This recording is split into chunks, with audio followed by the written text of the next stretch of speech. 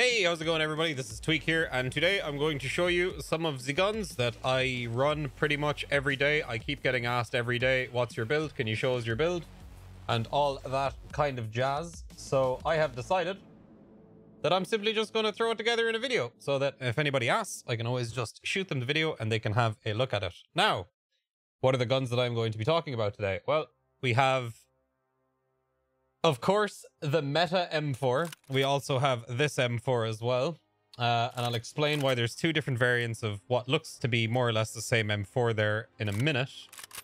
We also have the SA58 and we have the HK416 that I like to use as well, which I forgot to grab a scope for. I'm going to throw that on there real quick.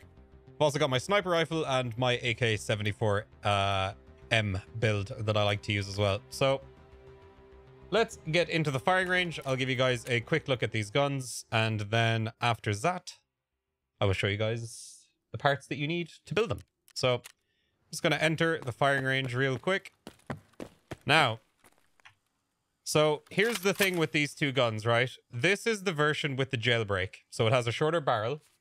Now, the fact that it has a jailbreak on it means that it's going to have less recoil. So I'm just going to aim downrange there. And I'm just going to hold down left click and I'm not going to do anything else.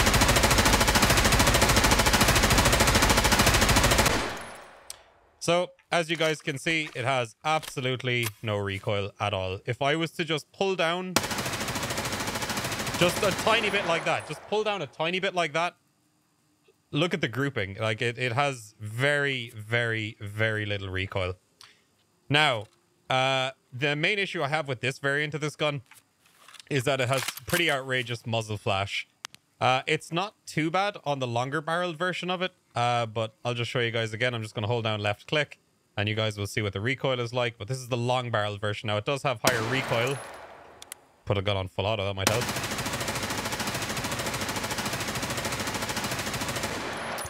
So as you can see, it's pretty similar to the first. Uh, and then I'm just going to try and control it a little bit. So the first one is definitely a little bit more of a laser beam, that's for sure. But you don't get as much of the muzzle flash on the uh, longer barrel version of the gun as you do on the shorter barrel version of the gun. The uh, hideout doesn't really seem to do a really good job of uh, showing just how bad the muzzle flash is. Like you can see it there, but I feel like the lighting in here doesn't make it look as bad. So in my opinion, I think for these two guns, you're better off running the longer barrel version, which has 40 uh, and 109 instead of the 3289 version, uh, just because of the muzzle flash. The muzzle flash can make it really hard to see what you're doing. So I'm going to show you guys the preset here real quick. You should be able to see all of the parts. Pretty standard stuff. Um, the main difference between this M4 and the Meta M4 of last patch is this pistol grip, the Ergo PSG-1. Uh, actually, just go to the modding screen instead. And then we use the HK E1 stock now. It's actually the best stock you can use on your M4s and stuff. And then you can put the rear sights and front sights on there for that little bit of extra ergonomics. But this is what you want. The ST6012 uh, has been the brake that I've been using all patch. Really, really good brake. Uh, really, really good. And then for the short one, uh, for those of you that don't really care about the muzzle flash, it's basically a jailbreak setup, exact same as last patch. Same thing again, except I've got a GRAL-S on this time. Pistol grips are kind of your own preference. Uh, but I have the, the HK E1, the jailbreak with the ST6012 on there. Um, so yeah, if you don't really care, if you don't really care about the uh, the muzzle flash, you can go for the shorter version. I'd much rather use the longer version and get less muzzle flash. So there's the two builds. If you guys want to screenshot this or whatever, pause the video there and y'all can do that if you like. Now, moving on to the SA58 and the HK416 that I use. So the FAL is the gun that I've probably been getting the most questions about. Now, there's not really uh, much to say about the FAL. Um, there is basically one new attachment. Well, technically two new attachments. Oh no, yeah, it's one. Um, which is the, uh, I can't bring it up here now, but it's called the, um, the uh what's it called the blast mitigation device and it's a new like muzzle device for it so what i'm gonna do i'm just gonna full auto this thing and i'm not going to i'm just gonna aim at that target there and i'm just not going to compensate for any of the recoil or anything like that, I'm just to hold down left click. So as you can see, the grouping is pretty tight for that kind of range. Like doing it, you know, full auto on a. I'm just going to try and control it a little bit now. So again, honestly, with just like a little like slight pull down, a little bit of like left and right movement, like you can you can pretty easily deal with the uh the aim on this, uh the recoil on this. The closer one is so much easier. You just have like a sharp pull down and then a little bit of like left and right compensation on the target. Um the FAL at this distance and at this distance, you're dead. You're so dead. That range, a lot of the shots are on target. You might get kind of unlucky. Anything past that, I would suggest tapping it. I wouldn't like anything farther than that third target there. Don't be trying to full auto people because uh, it'll likely just get you killed. If you just take your time and just, you know, just tap like that, you'll be so much better off. Um, so that is the FAL. And then I am going to give you guys a look at my HK. So this is my HK build. Again, nothing really too different. Just the muzzle brake and the uh, stock. That's pretty much it. So I'm going to throw this on full auto. Same as before. Uh, I'm just going to aim at the target there. You guys will see the reticle fly up and down anywhere. Maybe I'll, I'll move to the left side here. Yeah, this will do. All right, just going to hold down left click.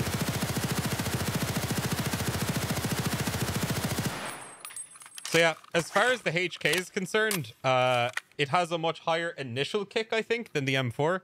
But if, again, if you just really just pull down on that first initial spray, um, it's pretty damn laser beamy. Yeah. Just a sharp pull down and you can you can just control the shit out of it. A little bit of like left and right compensation for the recoil, but there's not really much you need to do. So I'm going to give you guys a look at the gun real quick. So there is the HK. I'll put these in here for a second. Uh, Joe, I'll show you guys the uh, I'll show you guys the uh, SA58 first. So with the SA58, you have the A3 adapter with the BMD, the Lantac blast mitigation device, and then you have a Lantac Dragon muzzle brake on top of it as well. So these are the two new items: the A3 adapter, the BMD, and then the uh, Lantac Dragon on it there as well. So that is what made the... Because this FAL here is the exact same as it was last patch. Minus the brake. The brake setup is different. Everything else is the exact same. The stock, uh, the Arcade 2, everything else is the very same. The only thing that has changed are these, uh, the muzzle devices. So if you haven't tried it yet, I would suggest giving it a go. It's a pretty good gun. And again, lads, on the HK, it's all the exact same as last patch, except now we're using the HK E1s and we're using the ST6012s. Uh, that's pretty much it. So this is, uh, as far as I know, this is about the lowest recoil you can get a, a, a HK, which is at 41,107. Um, I'm not sure what else you can do to this to lower the recoil. I don't think there is anything you can do. I believe it has the longest barrel. Yeah, it's got a 20 inch barrel. Um, yeah, I don't think there's much else you can do to this. So let me give you guys a look at the builds real quick. So here you go again. This is like the inspect build screen or whatever. So Again, if you guys want to screenshot this to use in your own time so you don't have to keep referencing referencing the video, go for it. But yeah, that's the lowest recoil FAL you can get, and that as far as I know is the lowest recoil HK416 you can get. The M4, um, I'm pretty sure there's a like there's one or two other stocks you can use on it if you want. It's kind of up to you. Um, I'm not entirely sure though because I haven't really messed with it. But honestly, man, uh, these two M4s Especially the short barrel one, if you can get over the, the muzzle flash, like, you know, who cares? like, it'll be fine. Um, so yeah, I'm just going to actually throw a couple of rounds into the sniper because some people have been asking me about this as well. I don't even think it looks that cool, but I'll show it anyway. So I'm just going to show you guys my AK real quick, which by the way, probably isn't even the lowest recoil AK you can get, but I've had people ask me what's your AK build. This is the one that I just keep using.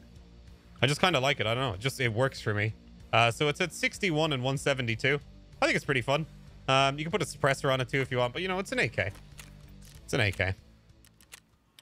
So I shall give you guys a look at the sniper rifle first. So this is my uh, M700 build. I've got a Voodoo on there. Zero recoil. Nah, I'm just I'm fucking kidding. Um, But yeah, no, just some people were asking me, and uh, I'll show you guys what parts I used to build this. I, I should honestly have a shift grip on it instead of the CQR. Uh, would make more sense, but... All right, let me give you guys a look at the AK. So this is it. These are the mods that I use on it. I think it looks pretty cool. And uh, yeah, I'm just going to hold on that target there and just hold on left click. Again, put the gun on full auto might help.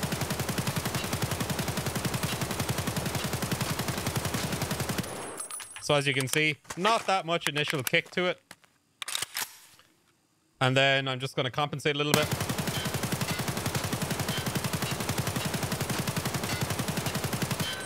And pretty much all those shots are on target from this range. Uh, a couple of them, you know, flew off and went around or whatever.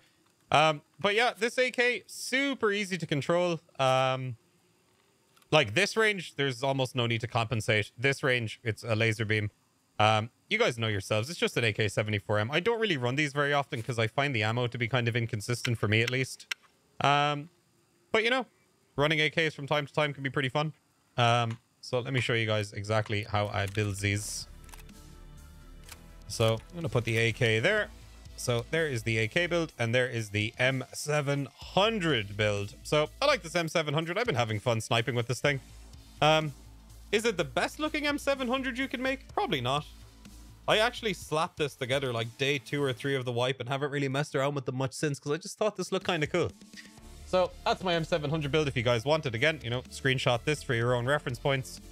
And then this is my 74M Nothing super complicated. It's not even that expensive to build. One of the most expensive attachments on this gun is the RK2. you know what I mean? And the, like the Valday and the Troy. Um, everything else is pretty bog standard stuff. There's nothing really super new about AK builds this patch. There are a couple of different rails you can use. I do like the... Um, let me see if I can show you guys in my presets real quick. So what AK is this? This is 61 and 172. Uh, I think it's AK Juice. No, it's not AK Juice. Which AK is it? I have one of them here with the, uh... No. Can't remember the name of the, uh... Oh, AK Meta. Oh, yeah. So this one's at 58 and 164, so it's a little bit better. I think it's made better because of the uh, aggressor on it here. The aggressor is pretty cool. Oh, wait, I've got a CTR stock on this. When did I even build this? With an RPK uh, buffer tube with the CTR stock. I think CTR stocks are quite rare, though. I don't think you can even buy them from traders. That's 55, 155 there. So yeah, there's a little bit of room for improvement. So you guys can copy this build too. It has a little bit less recoil than the other one. But I don't think it's really that necessary for uh, for AKs, to be honest. Because honestly, once you put an RK2 and this compensator on it, it, it starts becoming kind of irrelevant. You're just kind of wasting money on it then at that point, I feel like. But yeah, that's another build you guys can mess around with if you, if you please. So those are some of the guns that I run pretty much every day. I'm at the point in the wipe now where I'm running HKs and M4s all the time. It's just kind of how it is. Um, I run this SA58 pretty often too, and I run this AK every now and again too, but like if I go into my cases here, I've just got a Val. Um, and then it's just a bunch of these uh, different M4s and HKs just rolling around. I actually need to refill some of my guns and uh, some of my gear. I'm running dry. It was a rough day at the office today. But lads, thank you guys very much for watching the video. If you guys have any other suggestions as my camera goes out of focus, if you guys have any other suggestions and any other videos you would like to see or other guns you would like to see me build, um, besides these that I've shown you here, feel free to leave a comment and let me know. But lads, hope you guys enjoyed the video. Hope you guys found it informative. I'm always live over on Twitch. Go follow me. Live every day, pretty much. Lads, cheers for watching. If you liked the video, leave a like. Give me a comment. See you guys in the next video. Peace out, my dudes.